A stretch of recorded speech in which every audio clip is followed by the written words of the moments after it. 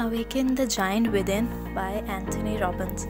Pages 566, published in 1991. This is considered the best book in this category. The inspirational message from this book is how you have the power right now to control how you think, how you feel, and what you do. Anything you want or desire in your life, you already have the power to achieve it. Screw it, let's do it. Lessons in Life by Richard Branson, pages 130, published in 2011. Reading other people's story about their journeys in life can give you the better perspective of what the journey of change can be about.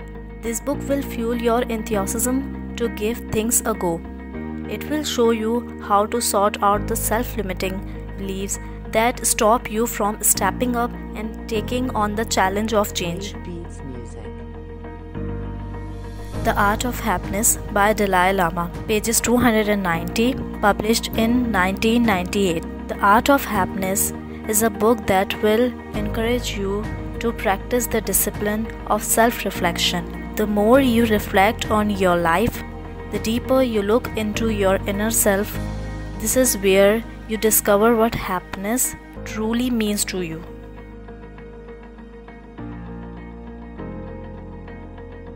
The Magic of Thinking Big by David J. Schwartz, pages 230, published 1959. According to Dr. Schwartz, to create change in your life and to attain all that you desire, you need to change your thinking and your attitude.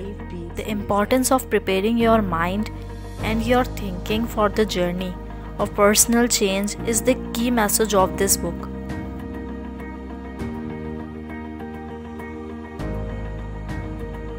Gifts of Imperfection by Brené Brown, pages 160, published in 2010.